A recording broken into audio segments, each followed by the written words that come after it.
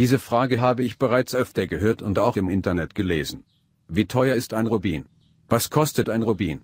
Manchmal war die Frage auch schon ein wenig präziser. Was kostet ein 1 Karat Rubin? Doch auf keine der Fragen gibt es eine Direktantwort. Eine passende Gegenfrage wäre vielleicht, was kostet ein Auto? Und schon wird klar, ein Rubin wird nach vielen Kriterien bewertet. Wie teuer ein Rubin letztendlich ist hängt von so vielen Faktoren ab, dass eine pauschale Antwort schlicht nicht möglich ist. Bei der Bewertung spielen Gewicht, Reinheit, Schliff, Fundort, Farbe, Glanz, Nachbehandlung und die Zertifizierung eine Rolle.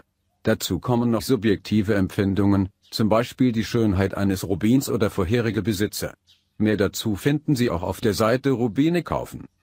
Außerdem steigt der Preis eines Rubins durch Zulieferer und Händler, die mit dem Edelstein einen Gewinn erzielen möchten.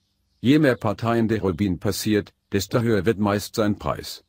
Ein Rubin mit ca. 1 Karat kann also ein paar hundert Euro kosten. Er kann aber auch genauso gut mehrere tausend Euro teuer sein. Karat ist in diesem Fall die Einheit für die Masse des Rubins und nicht zu verwechseln mit dem vom Goldhandel bekannten Karat, welches den Feingehalt des Goldes angibt. Beispielpreise In der folgenden Liste finden Sie drei Beispielpreise von Rubinen mit ähnlichem Gewicht. Die Preise stammen aus dem Rubin-Angebot von Carat Online und verdeutlichen sehr schön die Preisunterschiede von Rubinen. Ein 1,18 Karat schwerer Rubin aus Berme mit ovalem Schliff und mittleren Einschlüssen wird für einen Preis von 480 Euro angeboten.